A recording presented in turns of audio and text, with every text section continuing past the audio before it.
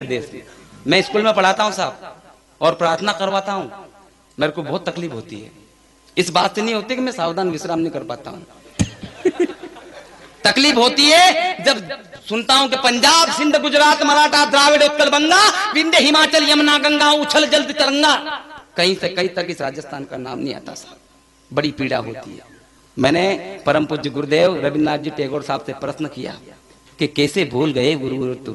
कैसे भूल गए गुरुवर तुम वीरों किस माटी को? कैसे बिसरा डाला तुमने आन बान परिवाटी को? और यहाँ मुंड कटे और रुंड लड़े इतिहास हमें बतलाता है। और कैसे बिसरा डाला तुमने रक्त रंजित तो हल्दी घाटी को? वाह! क्या मजबूरी रही गुरुदेव आपकी? क्या कारण रहा आपका? मैं नहीं जानता लेकिन आपने बहुत अन्याय किया राजस्थान के साथ में। है? ये वीरों की भूमि है। हमारे प्रदीप जी ने लिखा है बड़नगर के उज्जैन के पास के। कि यह अपना राजपुताना नाच जिसे तलवारों पे, इसने सारा जीवन काटा बरछी तीर कटारों पे। यह प्रताप का वचन पला है आज़ादी के नारों पे, और कूद पड़ी थी जहाँ हज़ारों पद्मनिया अंगारों पे। वो है राजस्थान।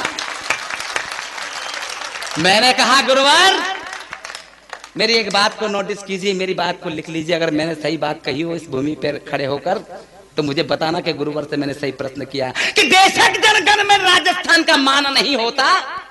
बेशक जनगण मन में राजस्थान का मान नहीं होता। जनगण मन में राजस्थान का गुणगान नहीं होता।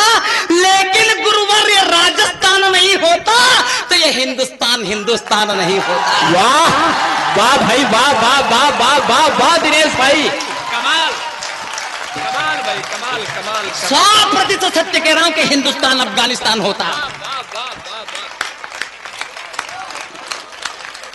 ये राजस्थान की वीरता का प्रमाण है, साहब जो हिंदुस्तान हिंदुस्तान है। और आप जनगण मन में भूल गए, राजस्थान का नाम।